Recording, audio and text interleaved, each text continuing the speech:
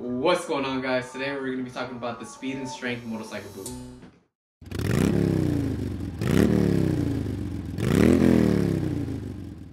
So since we're in the middle of winter, we're going to talk about boots. So this is the Insurgent Speed and Strength boot. It comes in a leather mesh with a strap, with a zipper in the back. This is a size 10. It runs a little bit bigger, uh, about a size bigger. So there's gonna be three things we're gonna be looking at in order to give it a ResReview. So the first thing we're gonna be looking at is comfort. So when I first bought this boot, it was not very comfortable. I wanna say it was about a three star just because it was very sturdy around the ankle area. And I've had this boot about like a year, year and a half. After a while, the, the leather, the mesh, it just started kind of meshing with my foot. And so uh, by that time, it started getting comfortable. It wasn't really that stiff.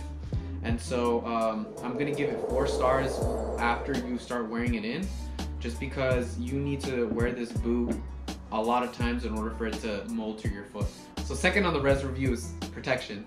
So protection is obviously very important just because if you weren't buying a motorcycle boot, then you wouldn't care about protecting your feet.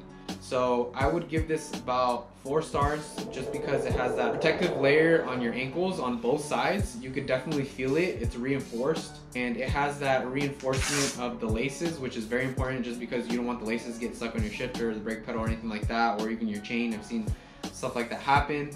And then also it has that protective coating on the lower base of your heel, which is really, really important, and then on the tips of your toes, and also on the shifter pad. So I would give this about four stars. So the last thing that we're looking here is price. So these are going for $129.99 on Revzilla.com or Speed and Strength's website. I ended up buying these for $99 on Black Friday, I believe, a year and a half ago. So you could probably get this for about 99 to 129 depending on when you want to buy them. I would wait if you can uh, for a sale or anything like that. If not, then they're totally worth the 129.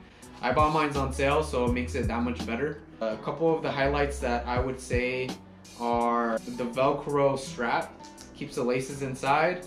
It has a zipper in the back in order for you to get into your boot very easily and that way you don't have to really undo the laces a lot of the times you can just keep them tied and then just uh, zip it up and then just put the velcro strap on and then you're ready to go it's very simple to put it on um, I usually takes me about like a minute just to put on both boots um, this is a, probably a three to four season motorcycle boot uh, here in California. I don't want to say that this is an all season boot just because it's not rainproof.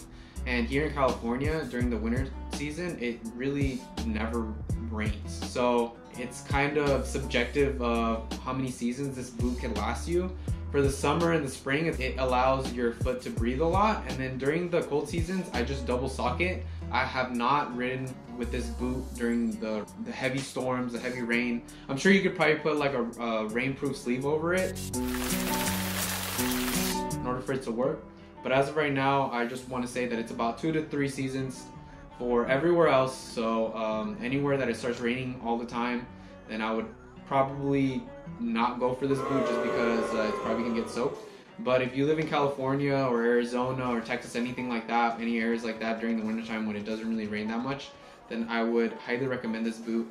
It comes in black and tan, and uh, it's better than just wearing any old sneaker. So my overall opinion about these Speed and Strength Insurgent boots, I would give it a ResReview about four stars just because it's not perfect, but at the same time, you're getting your best bang for your buck here. You're getting the protection that you need. You're getting the style points that you need. And uh, honestly, you, you can't go wrong with these boots just because the comfort is okay. You just have to kind of wear them for a little while. And then um, it's better than wearing sandals. It's better than wearing Converse. It's better, better than wearing any of those other shoes that are not going to really protect you. So I will put the link in the description below for these boots and I hope you guys enjoyed this video. This is uh, one of my winter season boots that I would recommend. And uh, there's more videos to come, so make sure you guys like, subscribe, comment, anything you guys want. And uh, peace.